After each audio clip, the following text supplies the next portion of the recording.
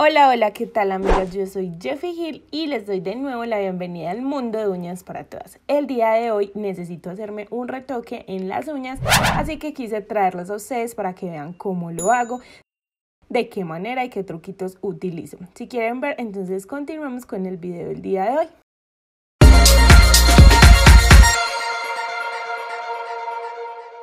Bueno amigas, así como ven tengo muchísimo crecimiento, entonces lo que comienzo a hacer es sanitizando el área de trabajo y por supuesto mis manos y las herramientas.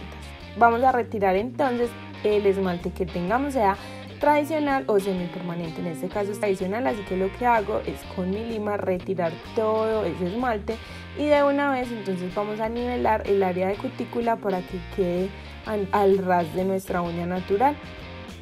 En ese momento es perfecto para que utilicen el drill si ustedes lo hacen de esta manera. Eso sí, teniendo muchísimo cuidado de no lastimar la uña o de no quitar más de la cuenta porque lo que estamos haciendo simplemente es retirando esa primera capita que no necesitamos para poder hacer el retoque de nuestras uñas. Vamos retirando el exceso de polvo y por supuesto vamos a aprovechar para pulir los laterales y el frente de nuestra uña dándole la forma que deseamos, sea esta cuadrada, semi cuadrada o redonda. Quitamos también el exceso de polvo, aplicamos un poquito más de alcohol y vamos a empujar la cutícula y a retirar esas impurezas que van dando en nuestras uñas con el paso del tiempo. Lo hacemos con mucho cuidado, pero es importante hacer este paso para que corramos la cutícula y nos quede como más espacio para hacer el retoque de nuestra uña. Retiramos también obviamente el mugre las impurezas que tengamos en nuestras uñas y este pasito ustedes lo pueden hacer en este momento o lo pueden hacer después de que pongan el acrílico. A mí me gusta hacerlo en este momento porque siento que la uña queda mucho más limpia y van a ver como menos opciones, menos peligro de que tengan algún levantamiento en el área de cutícula. Entonces con mi alicate quito todos esos cueritos de más aplico nuevamente alcohol, todo el tiempo estoy aplicando alcohol y voy a utilizar este cover de Mia Secret que es el que tengo en ese momento en mis uñas. Ponemos en un mortero el monómero y aplicamos los, preparadores en la parte de nuestra uña natural, simplemente en ese espaciecito, no es necesario ponerlo en todo el resto de la uña. Ahora vamos a comenzar a poner el acrílico en ese espaciecito. Lo único que necesitamos es rellenar esa parte de crecimiento y nivelarla con el resto de la uña en acrílico que ya tenemos.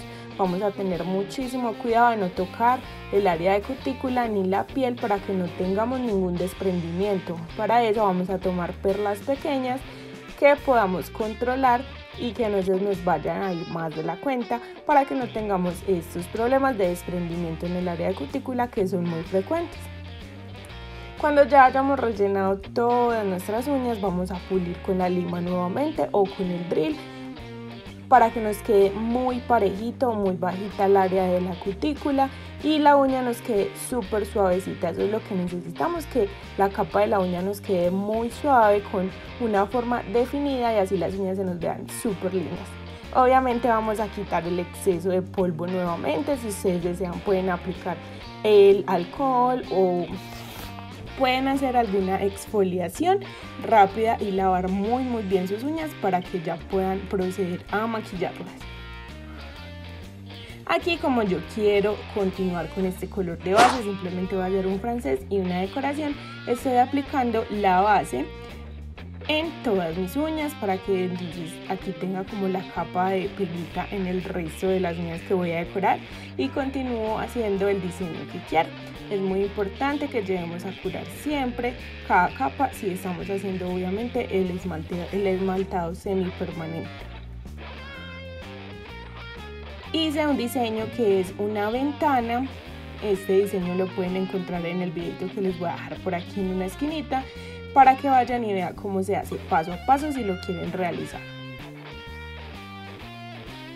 Y en esta uña simplemente estoy aplicando glitter, mientras que en el resto de las uñas voy a hacer un francés con una sonrisa bastante pronunciada, que está muy de moda, que es muy bonito. A mí me encanta este tipo de diseños porque se ven muy femeninos y hacen que nuestras manos luzcan súper delicadas.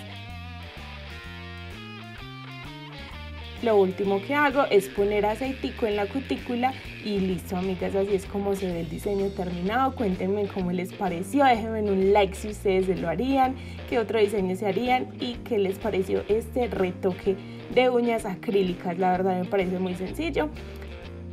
Recuerden que también les voy a dejar mis redes sociales para que estemos súper en contacto, para que me cuenten por allí qué otras cositas quieren ver.